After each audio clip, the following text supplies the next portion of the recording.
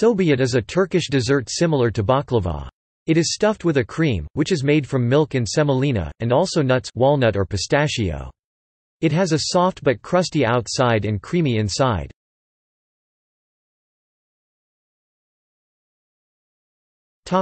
See also